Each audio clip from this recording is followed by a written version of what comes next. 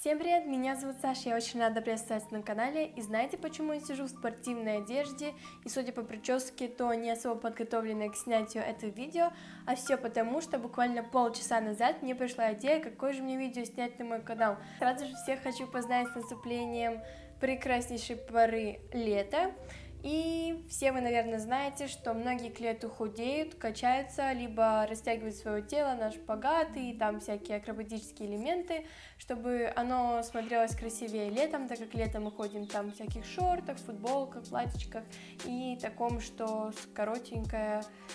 В общем, я думаю, вы поняли. Так вот, я на протяжении весны тоже садилась на шпагат, я села очень хорошо на продольный, я на нем, конечно, раньше сидела, но сейчас я сижу спокойно и уверенно, и также я растягивалась на поперечный шпагат, но в какой-то момент э, я как-то так получилось, что это забросила, и поэтому я так и не села на поперечный шпагат. Поэтому сегодня мне пришла идея, что я буду месяц растягиваться каждый день и показывать свои результаты на протяжении дня и сниму в начале и в конце месяца свои шпагаты, свои результаты, но так как месяц это сильно долго, поэтому я решила это сделать за неделю и показать, как за неделю можно сесть на шпагат. Я буду садиться в минус на продольный и просто на поперечный. Сегодня я вам покажу упражнения, какие нужно делать, либо просто можно делать, чтобы сесть на шпагат, как сесть на шпагат быстро, за неделю, за месяц.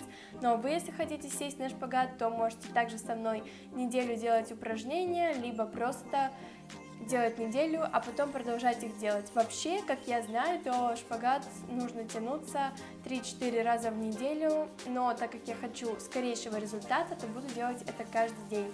Я думаю, это ничем мне не навредит, а только будет полезно.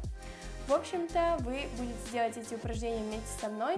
Я, кстати, после окончания этой недели буду продолжать тянуться на шпагат, так как за лето я не хочу потерять свои шпагаты, так как на них сесть э, достаточно сложно, а вернуть их и потерять растяжку достаточно просто. Ну, я думаю, вы понимаете кто с этим знаком. И да, даже если вы бревно, даже если вы никогда не садились на шпагат, то поверьте, если вы захотите и будете делать постоянно и старательно, то у вас все получится. Так что советую подписаться на мой инстаграм, вы тут сейчас видите ник, и там вы узнаете еще маленькие хитрости, как сесть на шпагат. Вообще я там пишу много интересных постов, не только про шпагат, но и про всю свою жизнь, всякие истории, лайфхаки и так далее.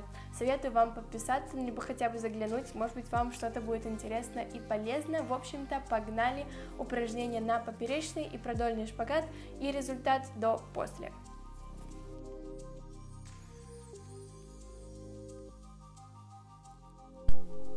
В разминке я делаю самые банальные упражнения, которые мы все делали на уроках физкультуры – После этого я делаю ту же самую банальную складку. Нам нужно очень хорошо растянуть подколенные связки. Она нужна для всех трех шпагатов.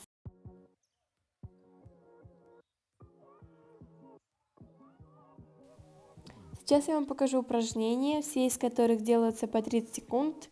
Можно больше, но не меньше. Я покажу на правую ногу, соответственно, все то же самое на левую. Первое это был выпад. Сейчас я делаю выпад, но заднюю ногу я подгибаю и держу одноименной рукой. После этого я также оставляю ее согнутой и беру уже другой рукой. Мы очень хорошо тянем переднюю поверхность э, заднего бедра. Вроде бы так это должно звучать. Дальше я беру все двумя руками и тоже притягиваю ногу.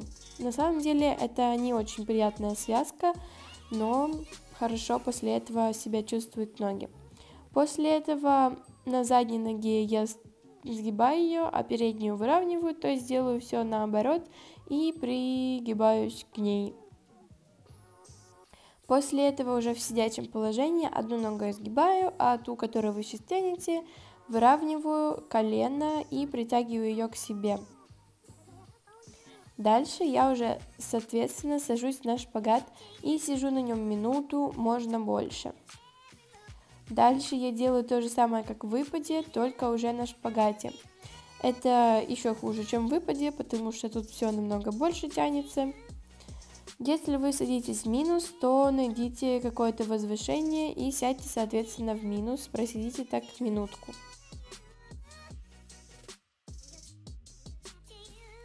Поперечный шпагат лично для меня тянется сложнее, но вы выберете тот шпагат, который для вас тянется легче, и вы его будете с удовольствием тянуть.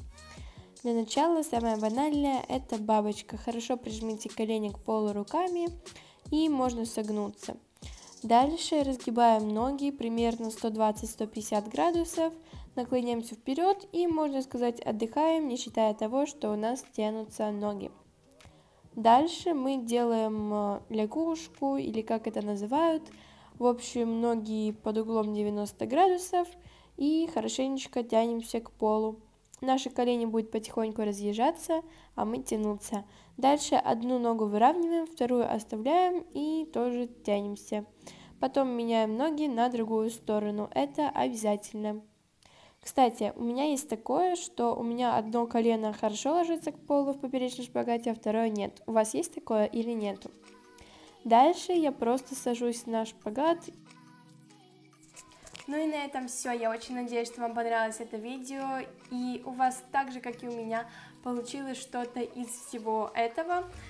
Я очень буду рада, если вы поделитесь своими результатами, что у вас получилось со мной в Инстаграме, и будете продолжать растягиваться, либо я очень буду рада, если вы вообще в этом всем участвовали, пишите комментарии, ставьте лайки, подписывайтесь на мой канал, обязательно, обязательно, обязательно. Подписывайтесь на мой инстаграм, я уже говорила в начале видео и про него рассказывала, можете туда заглянуть, и в описании будет еще два моих инстаграма, про них я рассказывать не буду, просто можете прочитать в описании, про что они, и тоже на них заглянуть. В общем-то, всем огромное-огромное, огромнейшее спасибо за просмотр, всех люблю, всех целую, всем пока!